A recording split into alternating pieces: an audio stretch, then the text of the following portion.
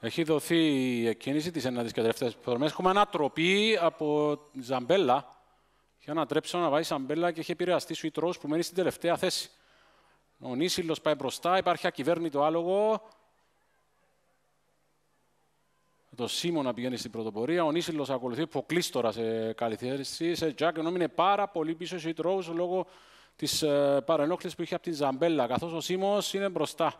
Κυνηγάει ο Νίσιλο στη δεύτερη θέση, ο Υποκλής μαζί με τον Σερ Τζακ, πιο πίσω και ο Μίστερ Νιουμάιντ, καθώς ο, ο Σίμω έχει στο ένα μήκος τον Νίσιλο τους δύο, τώρα καταδιώκει ο Υποκλής. Πιο πίσω είναι ο Σερ Τζακ, Ακούει πιο πίσω τώρα ο Mr. Newmind κάνει ένα καλό ανέβασμα εσωτερικά. Είναι και η Lady Lass, καθώς ο Σίμω έχει τον υποκλήτορα στο εναμικός.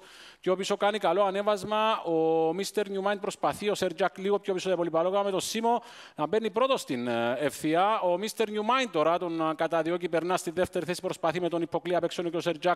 Σίμω και ο Mr. Newmind στα τελευταία μέτρα που πλησιάζει. Πιο πίσω κάνει καλό ανέβασμα και ο Sir Jack, καθώς ο Σίμω έχει κοντά του πλέον τον Mr. Newmind. Βγαίνει εξωτερικά ο Σίμω, ο Sir Jack τώρα είναι δυνατός απ' έξω και η Δωράθια. Ενώ κάνει και Σουιτρό που κάνει finish με το Σέρτζακ. Τώρα να περνά. Να η Σουιτρό που η οποία κάνει το καλό στο finish. Σουιτρό, Σέρτζακ και Σουιτρό. Πιο πίσω Δωράθια και στα μέλος αλλάζουν όλα στα